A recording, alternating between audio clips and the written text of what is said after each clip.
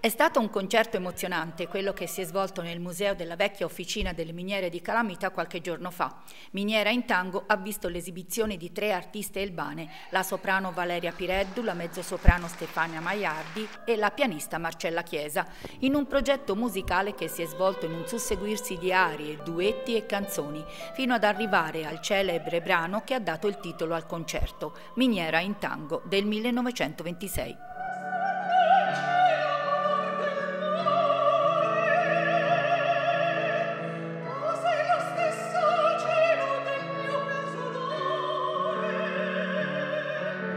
È un modo diverso di vivere le miniere. Siamo continuamente alla ricerca di quelli che sono i valori eh, di questa zona del Monte Calamita. L'amministrazione è molto impegnata in questo. È un modo diverso per vivere l'ambiente che è sport è, è, è stata momenti di sacrificio quando le miniere erano aperte ed è un modo anche questo per canalizzare le energie eh, cercando anche di capire che eh, l'ambiente delle miniere può essere anche questo.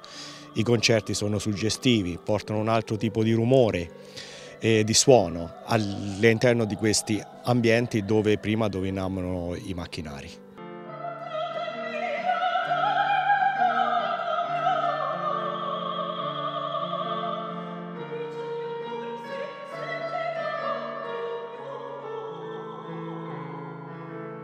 E per questa serata naturalmente ringrazio l'organizzatrice che è la dottoressa Cinzia Battaglia e naturalmente le quattro artiste che si sono esibite e la mia partecipata Caput intera che hanno permesso l'organizzazione e lo svolgimento di tutto questo.